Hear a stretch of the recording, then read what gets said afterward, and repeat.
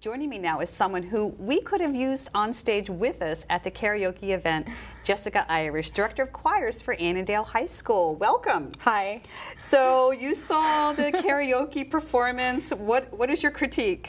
Honestly, I thought it was pretty good. there were a lot of good voices in there, and it you know, it makes me wonder if some of these folks were in choirs in Fairfax County Public Schools. well, perhaps some of us were. I, I wasn't, but um, it's, as I finally referred to it, our annual humiliation event. So um, we do it with a smile on our face, though, because it is for a good, very good cause.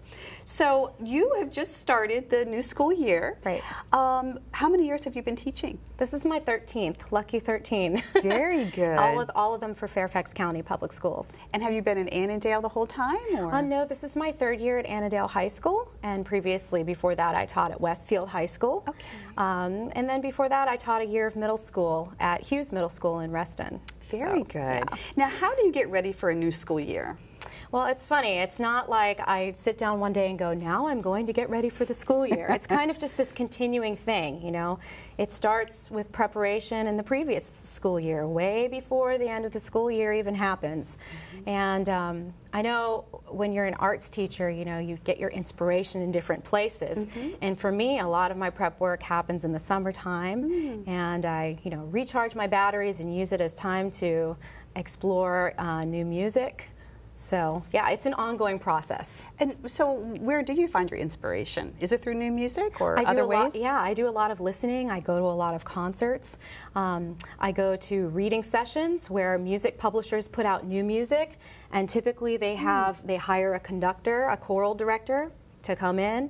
Um, sometimes it's been uh, peers of mine in mm-hmm. Fairfax County, um, and you know a professional accompanist, and we sing through new music and we have a chance to see what it feels like to sing, what concepts we could teach with this particular music, and how it would best suit our students, and whether or not it's a quality piece of music mm-hmm. and things like that.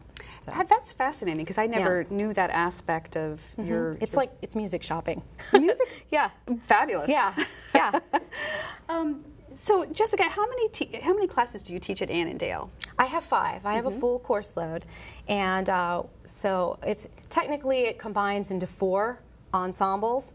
Uh, one of my classes is called concert choir, and it's split. There's a men's section and a women's section, so that's two different classes, but they co- often combine. Mm-hmm. Um, and then I have an advanced women's chorus, an advanced men's chorus, and then I have an advanced mixed chorus called the Annandale Singers. Oh, that's terrific. Now, yeah. what do you love about your job?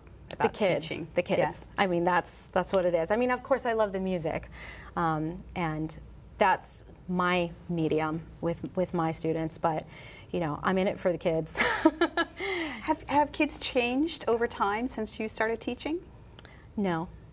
I mean, I think some people would maybe argue with me over that, but no, I think kids are generally the same.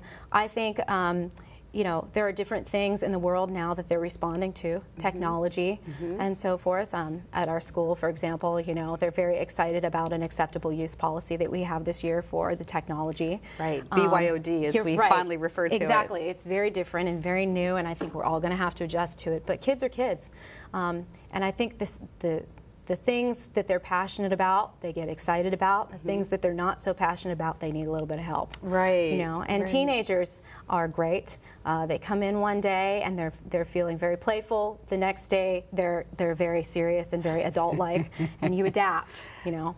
Absolutely. What are some of the things that you like? You start out with the, this, these groups of children, these kids, these mm-hmm. teenagers at the beginning of the year. What do you hope to achieve by the end of the year? You know, I was thinking about this today, um, and since the start of the school year, and I actually was talking with my students. What do you hope to achieve by the end of the year? And we were making lists on the board and things. And I think with what I teach, you know, of course there are standards.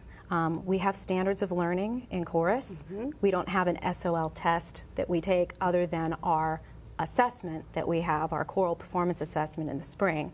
Um, but there are standards and all these things, of course, we want them to learn that are in our program of studies. Mm-hmm. But the special thing about what I teach is it's not just what you learn, it's what you experience, what you feel, and what you're able to do mm. as a result of it. It's a doing kind of a class. Right.